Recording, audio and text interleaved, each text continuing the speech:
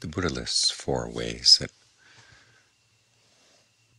concentration can gain strength, or four qualities of mind that can form, form a foundation for concentration. They're called the basis for success.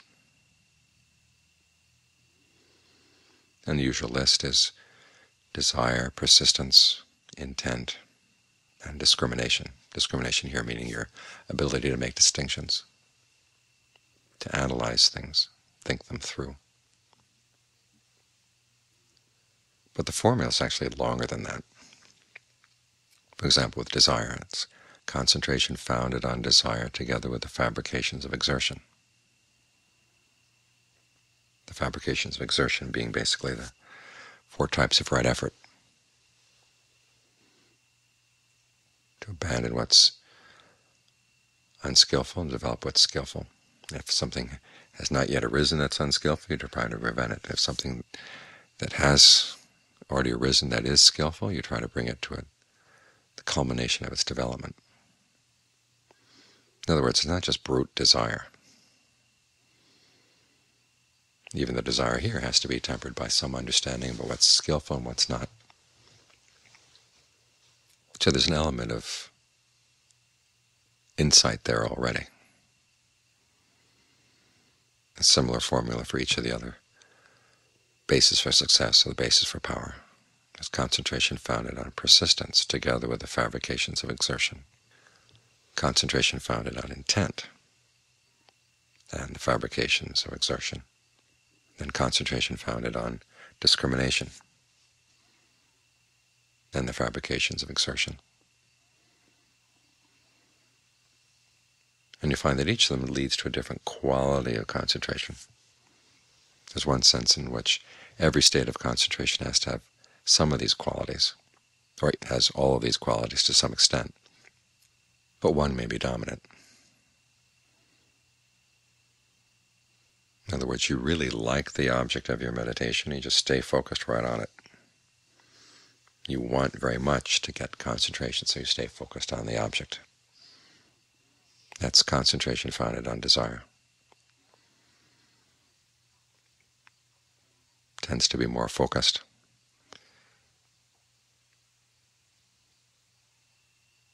and involve a fair amount of willpower. Similarly with persistence, just sticking with it, sticking with it, sticking with it, whatever the object is that you're focused on. Of course, it's hard to have persistence without desire.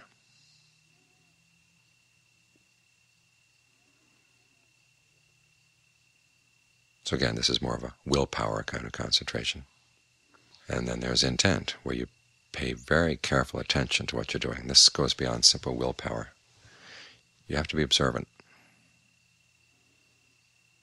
You have to give the object your full attention.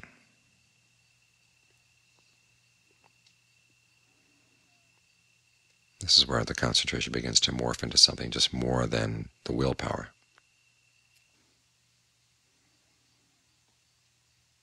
You have to develop care in how you're focused and then finally discrimination. This is the concentration that's based on figuring things out.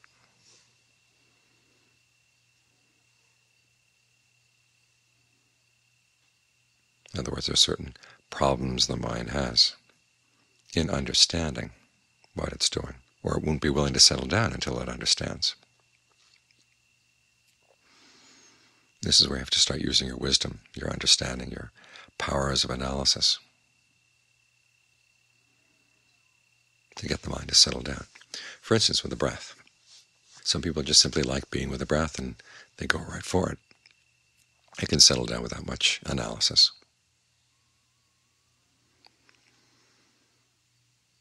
And other people, before they can settle down, run into that problem. Well, exactly what is the breath? When Ajaan Lee is talking about breath sensations in the body, what's, what are those? And how do you know when they're flowing well? How do you know it's not just a figment of your imagination? Or if they're not flowing well, what can you do to make them flow better?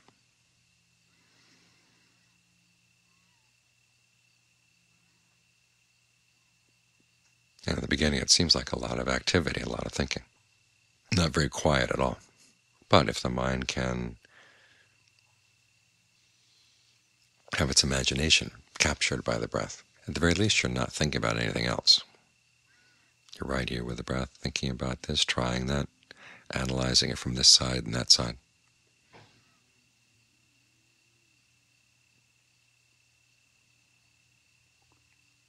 And when you finally do come to an understanding, the mind is willing to just settle down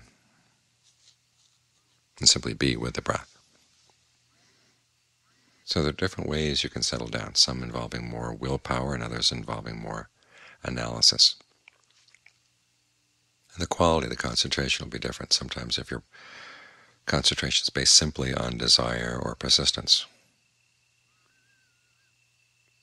it'll be very hard to Ajaan Fuang calls lifting the mind above its object. In other words, pulling out of the concentration just enough so you can see what's going on in it, not so far away that you've destroyed it. And that requires a certain amount of discrimination, a certain amount of discernment.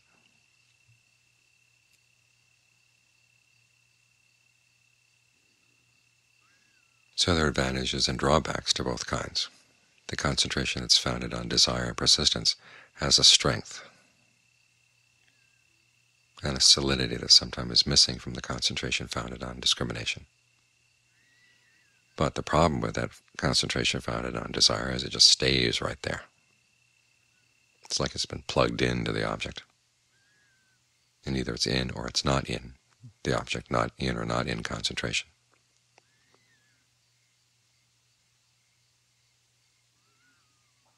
And it takes the mind a while to find the balance. As for the concentration founded on discrimination, it's not quite as solid, but it is a concentration that's got the balance needed for for insight.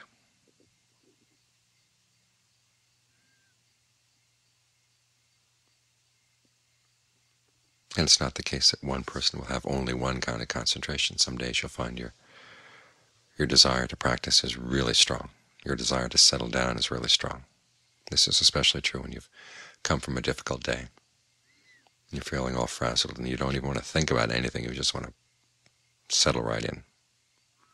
Wrap yourself up in the concentration like a person wrapped up in a big blanket and not go anywhere at all. Other days the mind is not willing to settle down unless something captures its imagination. Might be the issue, say, of pain in the body. You're hoping to settle down, have a nice, quiet sit, and pain gets in the way. So you've got to figure out how can I settle down here and not get absorbed in the pain or not get pulled into the pain. Then you can start thinking about the way the breath relates to the pain and how some ways of breathing aggravate the pain and other ways of breathing helps to soothe the pain.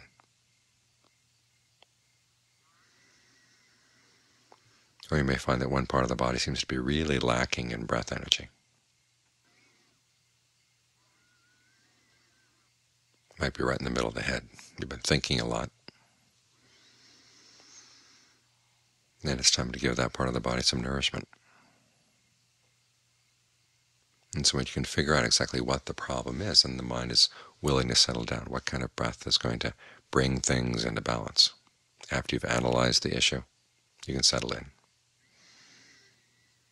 Some people find that working with the three characteristics, or the three perceptions of inconstancy, stress, and not-self, are actually means for concentration. And the Buddha says as much.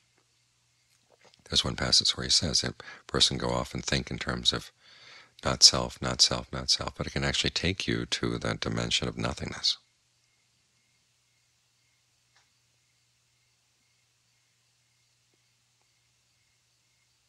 This is an important point to keep in mind. Some people think that if you hold that perception in mind, then whatever happens to the mind is you know, it's the result of vipassana, or insight. It's going to take you right to liberation. But the Buddha said, no, sometimes it can take you to a very refined state of concentration, and then you just stay right there.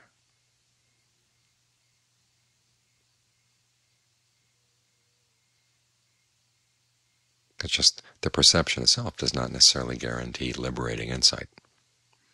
It can help bring the mind to a state of concentration, and it, it is a certain amount of insight there, realizing that the form of the body is not yourself, and the feelings and perceptions, all the aggregates are not self.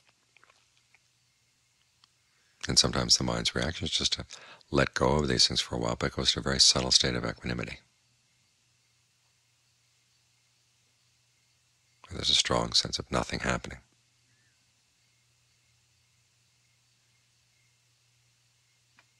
It's a state of concentration. So there's concentration that comes from thinking your way through things and analyzing things, and then there's concentration that comes from force of will. And then there's a concentration that comes from the combination of the two.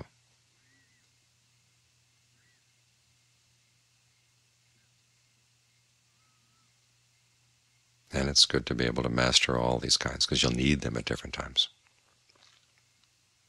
There'll be times when you've been thinking so much during the day that the idea of thinking your way in meditation doesn't appeal at all. You just want to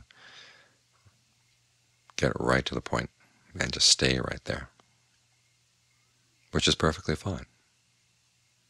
The concentration practice is here to bring things into balance and to heal the illnesses of the body, heal the illnesses of the mind.